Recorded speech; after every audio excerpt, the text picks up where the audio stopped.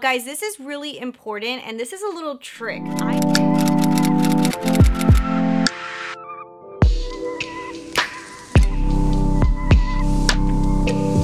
video day guys. So for today's video i'm to be doing one that you guys have actually been asking me to do for a while and i had to get through my whole collection and kind of like get ideas of all the equipment that i used to use and the equipment i use now.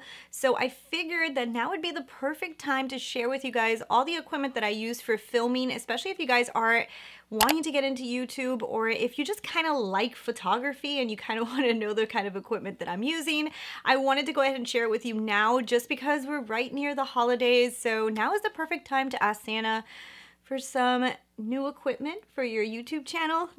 I have a bunch of stuff to go over with you. I'm gonna show you guys different options. I'm gonna have my cheaper option, kind of like what I started off with, and then I'll get into the equipment I'm using right now. Don't forget, hit that subscribe button before I get into the video, and let's do that right now. First thing I'm gonna do is start off with the equipment that I used to use.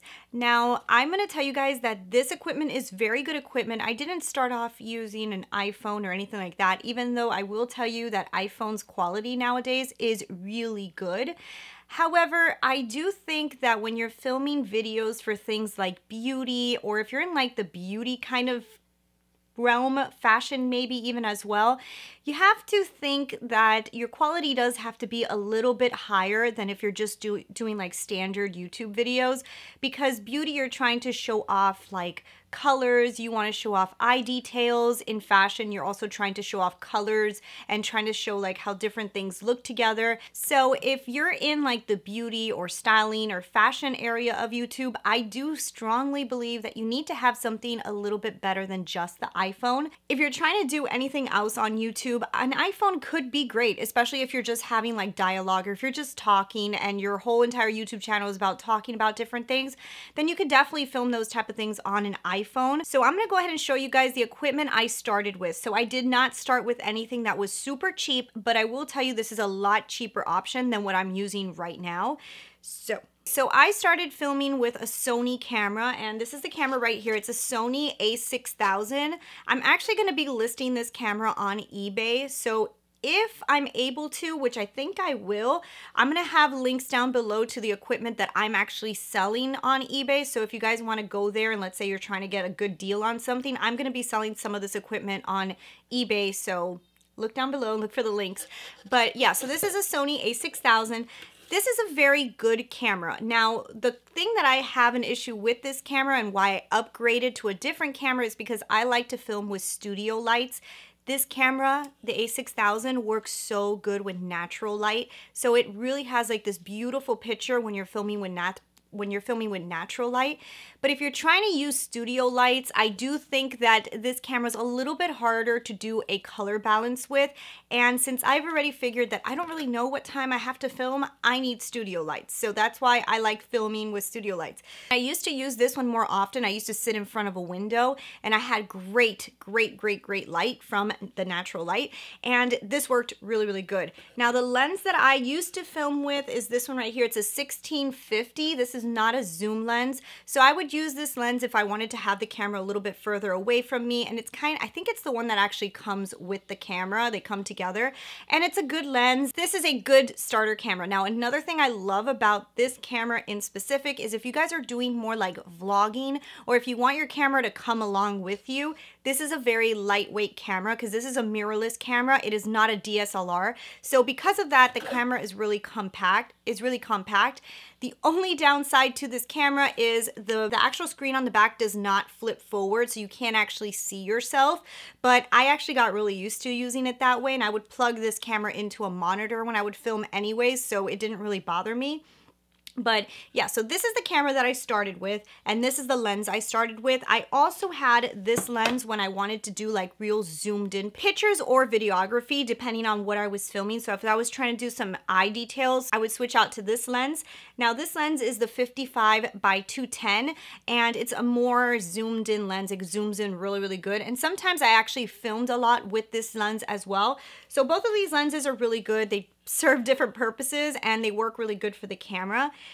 But as I started getting into YouTube even more, I wanted to up my game when it came to kind of quality and portrait and getting the background a little bit more blurred out. So I upgraded my lens to this lens and this is also going to be sold. Um, this is the 18 by 105 and it's a Sony prime lens and this actually lets you do a little bit more detail. It looks a lot crisper of a picture. This lens is actually made more for the DSLR cameras from Sony, but I did use it with the mirrorless camera and it worked, so I was happy with that. And it did give me that blur effect in the background and this is like the next lens up when I was using this camera.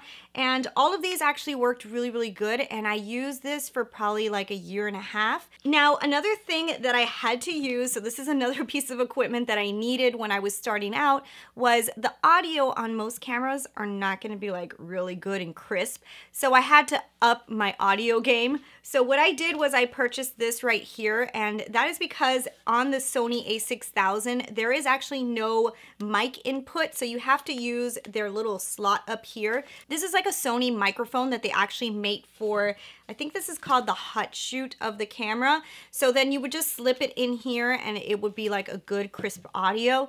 This audio worked a lot better for a specific amount of time that I needed it, especially when I wanted to have the camera close to me. The audio was a lot better with this. But as you're on YouTube, you always want things to get a little bit better. So then um, eventually I upped my audio to this right here. So this is the Zoom H1 Handy Recorder. And what I would do is I would have this audio stuck to my camera and this one with a lapel mic on my actual body so that if for some reason this stopped working, my audio was still somewhat decent coming out of the camera. So I had like a safeguard going, but this audio was a lot more crisp than this one was. So it was kind of like upping it a little bit. So that was kind of like my camera setup that I had. At first I used to just sit in front of daylight with this equipment and it used to work pretty decent. I used to have to have soft boxes on either side of me just to reflect kind of like to take away the shadows from the side of you. But as I started getting into it more, I actually purchased a ring light. Now the ring light was really great and I used to use the ring light a lot in the beginning. The ring light kind of gives you a softness to the face. It also gives you that little ring in your eyes. If you guys ever see somebody's eyes look like super shiny, it's probably because they're using a ring light. The ring light did a really good effect and I was able to use it for a while and that was my entire setup and it worked really, really, really good for a decent period of time. Now, what ended up happening is, like always, you decide that you want to either up your camera game or you kind of want to relocate where you're filming. So when I decided to relocate where, not where I was filming and I kind of wanted to go inside an office just so that my stuff wouldn't be all over the living room, I decided to come to an office and my office was a lot darker. So what ended up happening is my Sony a6000 was not working as good anymore because the lighting wasn't as bright anymore. This camera works a lot better when you have natural light. So I kind of lost the natural light and now I was like, okay, now I gotta actually add light and make this like a real studio light. So that's when I decided that I was going to have to upgrade. So I already had been doing YouTube for like a year and a half. I already knew I liked it and I really like cameras. So for me to upgrade was not like a big issue. I was like, okay, great. I think I really want to do this. I want to upgrade my camera. So one of the things that was really important to me was even though I had the Sony equipment, I started to have to think like, what is it that I really want out of my camera in my new space? And one of the things were that I really needed better white balance and I needed something that was able to bring in a little bit more light to the space that's a little darker so that the so that the picture looks a lot better. And I decided I needed to move up to a DSLR I needed to get a DSLR camera and that was just to get more light into the frame and I decided to go with Canon instead of Sony. So this was a hard decision because I already had a prime lens from Sony and I just, I don't know, there was just something about Canon's DSLRs that really, really called my attention and I knew that I needed to go with the Canon. So my new setup now, um, I was able to purchase the Canon 80D, which is a fantastic camera. I'm gonna show you guys the setup with my iPhone, just so you guys can take a little tour of what I've got going on right now. But yeah, so I upgraded to the Canon 80D. This is a fantastic camera. The white balance on this camera is insanely good. Now, I will tell you guys, I love my Sony and especially for vlogging or if I ever need to take pictures outside or anything, I usually gravitate to this one because this Canon 80D is super heavy. so if you're using this camera, it's mostly to just be filming or to like do a portrait photography outside. But this is not gonna be like a camera you're gonna be taking with you a lot of places because this is a big heavy duty camera. Do you know what I mean? So either way, the Canon 80D is the camera I'm filming off of right now. I love the camera. I think it works really, really good. I also am pairing it with a Sigma lens. So the Canon lenses are a lot more expensive, but the good thing about Canon is Canon actually is able to use some other like third party lenses. So the lens that I use with this camera is from Sigma, it's the 18 to 35 lens. It is such a good lens. It gives me that blurred background like really good, but it also is a little bit more zoomed in. It's like a portrait lens, so you get like a good portrait shot. Like for filming right now, this is a great lens, and this looks great for portrait shots. But if I ever wanted to do like real detail eye work, I know I'm gonna have to change my lens eventually. Now you can use this lens, like if I wanted to do detail work, I can get like really close to the camera to kind of like do it that way. The only thing is, like, if I wanted to take pictures outside and stuff, the best way to use it is portrait. If I'm trying to get, like, close, it can get a little bit um, off with, like, what to zoom in with. If I ever wanted to do, like, more detail work and, like, really zoom in on the eye, I would probably want to get a more zoom lens for the Canon camera, but that's another story and that's another upgrade video, which hopefully one day I'll be able to add another lens to my little setup because I really, really want to. But besides that, right in front of my camera, I do have a monitor. Now guys, this is really important and this is a little trick. I put my monitor right underneath my lens. I do this on purpose so that if I look down and I look at myself, you cannot tell too much that I'm looking at a monitor or if I'm looking off the screen. Some people like to put their monitor to the left or to the right, and what happens is you usually see them kind of like going like this a lot. I'm just looking like this. I'm looking at it right now. So it's a little bit harder for you guys to notice that I'm looking at the monitor. It's a little bit less distracting than somebody going like this all the time or like this. So I do that on purpose. Now this monitor was pretty cheap and it's not even like one of those, I think it's like a little TV or a little monitor. I have no idea what it is, but I found it on Amazon. I will link it down below if you guys are looking for it. It works with an HDMI cable to your camera and it works fine the color is not perfect. It's not going to tell you exactly the color that you're looking at, but I don't really need that. I needed it more for me. I just needed to be able to see that I'm recording and that I'm in frame and that I'm not blurry. That's really why I needed a monitor. I trust the color balance so good on this Canon 80D that the color looks decent on the monitor. I know it's probably even better on camera. So Besides that, if I go over, you guys will see I actually use now a Rode mic. So this is the mic that I am using currently, and it's a great mic. Now, what I do is I actually put it on this stand. I forgot the name of what they're called. It's it called like a shotgun stand or something like that. I'll list it down below, but I got online and it allows me to put the mic like directly overhead. I didn't want to put it on top of a table or anything just because I don't want to be throwing the mic on the floor. So this allows me to put it directly above me. You don't hear any movement or anything like that because it stays right above my head and it is connected directly into my Canon 80D. Then if we talk about the lights, this is probably my favorite purchase ever is the lights that I'm using. This was a recommendation from Raw Beauty Kristi. I saw it on her channel and I love this light. This is what they call like a barn door light. Now, there is a more expensive version of this. I think it's called the Kino Flow Lights or something like that. And she kept on saying in her video that this was very similar and it did a really good light quality and it's not as expensive. I only purchased one of these lights. I know a lot of people have two of them, but I just felt like I didn't need that much light. And I'm telling you, I think with this one light just right in front of me, I get like such a perfect color and I don't know, it's just not too bright. It's like perfect. I don't even think I would want two of these. Like I just think one was perfect. I attached one of those softbox softeners on top of it just so the light was not so bright in my face and it kind of softened the light. And that I just taped to the top of this light. And I love this setup so far. So I have the light in the back, I have the camera directly in front of the light, but lower than the light so that the light, so it's not blocking any of the light that's hitting my face. The light is kind of tilted down towards me so that it's getting straight here, but it's not directly in my face. And then it has the softening on top of it. And then right in front of my lens is my monitor. So if I look down, it's not so obvious that I'm looking at myself.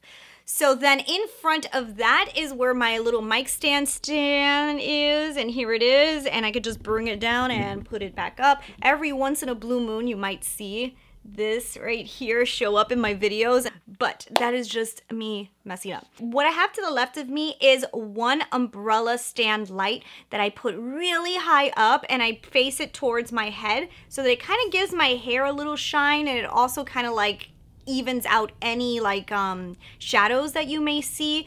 Then on the right of me, I actually have a white wall here. So uh, all the lights are kind of bouncing off of this wall. So I already have that kind of like bouncer. On the left of me, I have this umbrella, which kind of like throws the light back this way. So I think they kind of like play off each other and they have worked really good. So I haven't had to touch that. I have this like really simple brown little tiny desk that I could fold away and put to the side because I double this as an office. So this little tiny desk is just there thrown in front of me. And basically I use it to like, if I'm putting on any makeup, I'll put it here so that I could just easily put it on in front of the camera. And I have this reflector sitting on top of it. Now the reflector, what it's doing is grabbing all of these lights, it's bouncing it down and up, and it's making me look more reflective and pretty. And it does do a really big difference. I can tell when I forget to put this up. I totally can tell. But everybody forgets that all of these lights in the front are really important but you gotta have something going on in the back and lights need to be in the back in order to really make this shot look like almost just so this shot doesn't look flat. A lot of people, what I see that they do, that it's a huge mistake in my opinion, is they forget about the back and either they sit way too close to their backdrop or they forget to add lights to the back. Now, Something that I think is super important, and if you take anything from this, just listen to this one part. And this is something that I have learned and really love. I think that your light should be at least like five feet from you, and then behind you, your backdrop should be like another five feet from you. And I think with that, you have a pretty good depth of field so that everything kind of looks good. If you have to sit too close to your background, you're never really gonna have that dimension on camera. It's just not gonna look as good. So my background is like five feet from me. Um, right here I have a desk. So let me get out of the way. So right here I just have a desk. This is part of my desk and it's kind of like an L-shaped desk. So I'll show you guys on my iPhone. It's an L-shaped desk. So here is, this is all empty space, empty white space desk. And then I have two lights in the center. Those two lights in the center are actually white lights. They are projecting white light to my backdrop so that my backdrop gets even more crisp. And then on the two sides, I have two standalone lamps that are just standing on each side and they're pointing towards the backdrop to make the backdrop even whiter. What happens is if you don't have lights in the back, your backdrop's gonna look gray. And you don't want your backdrop to look gray because it's just not adding anything to your video. It looks weird. Like I could probably take down this white background and just use my backdrop as my wall. But the reason I don't want to do that is because I love the real crisp white look. And this right here is just a piece of fabric. That's a piece of fabric that I bought. It's a lycra fabric and I love it because it you it's it's kind of like a reflector and it gives you that real crisp white look which I love and even if I had a white wall I think I would still put a white fabric behind me just because I think it just does something to the overall look of the video. If that was just a wall, I think it would look even flatter. And right now it just is kind of like another reflector, in other words, because since it's white, it's reflecting all of these lights and it's just turning super white, which is what I really love.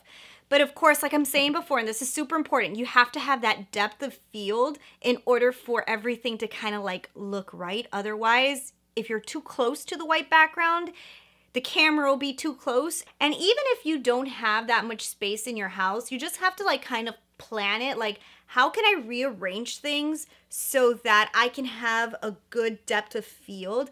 Because on camera people can't tell what's behind you or what's in front of you. So if you have to rearrange something so it looks weird to your eye who cares? As long as in the camera it looks good that's all you need so anyways, so that's my backdrop. Then I have these little string lights that are here that sometimes you guys can see them, sometimes you can't.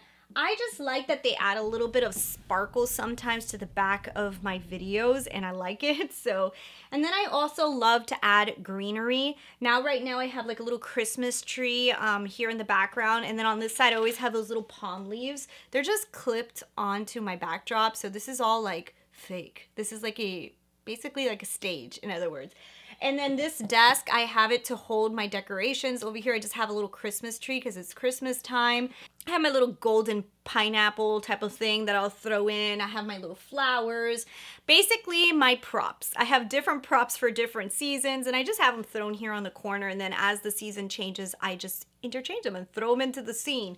Um, I also have some really cool eucalyptus leaves that I'm thinking of throwing into next year. So basically I think of this right here as a prop and studio space and that's all I think of it as. And then right on this side, this is actually my office space and right now it's full of makeup because I gotta do a declutter, but usually this is where we would use to actually use as an office. And when I'm not filming, everything stays as it is, but I kind of like just close the table and put a chair here. I can move the mic and the umbrella out of the way, but my camera, my monitor, and my big light will never move.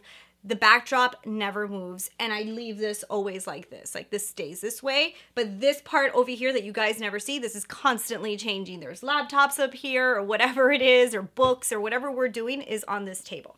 So yeah, then for my chair, I have this fake white kind of like cloth over a regular office chair just so that you guys can't see the chair because I like I like like I said the white crisp look.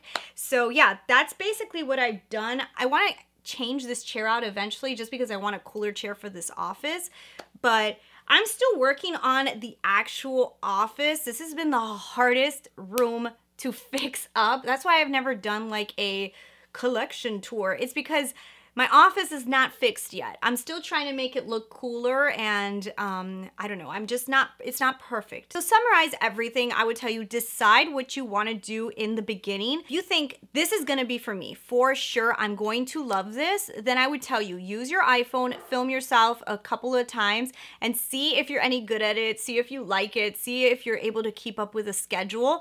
And if that is the case, and you can afford a more expensive camera, I tell you to jump into the more expensive camera because it's just, it's better quality and it's good. If you cannot afford this a more expensive camera, that is fine. There's cheaper cameras on the market that are really, really good. If you wanna go with a Sony or if you wanna go with a Canon, it's whatever you want, that's up to you.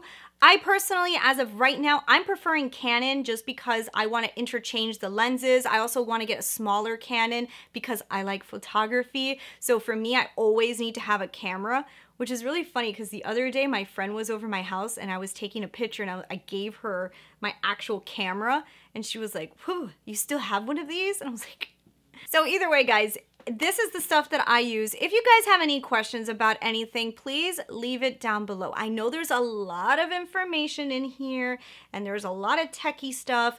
I am not a photographer. Do I love photography? Yes. Have I tried to venture into learning photography? I have. Have I always been into it? Yes. So I do know a little bit, but I'm not like a professional. I kind of have ideas but I'm not a professional, but I would love to help anybody who wants help, so I'll help you. That's what I'm using. I'm super happy with my current setup. I think it's fantastic.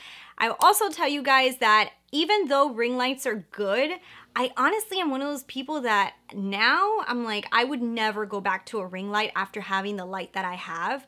And I think that the price is very similar between what I paid for the ring light and the price that I paid for the light that I have right now. And the light that I have right now is so much better. So much more real tones to the face and everything that I love it. So Anyways, I really hope this video helped you. If you guys are interested in any of the items that I talked about, I will link everything down below. I'll put them in current setup and old setup and prices and all that stuff. I'll try to put everything that I can down below, but Thank you guys so much for watching. I hope this video was helpful. Let me know if you guys want me to get more in depth on how to place lighting or why I place lighting in certain places or if there's a specific thing I talked about that you want more details on. I'll try to help you with that as much as I can. And just remember, this is all beauty related. If you're filming like other type of videos, you may not think that some of the stuff that I said is important. But for the beauty realm, I think that most of the things are pretty needed. So anyways, thank you for, anyways, thank you guys so much for watching. I hope I helped you and I'll talk to you guys later. Bye.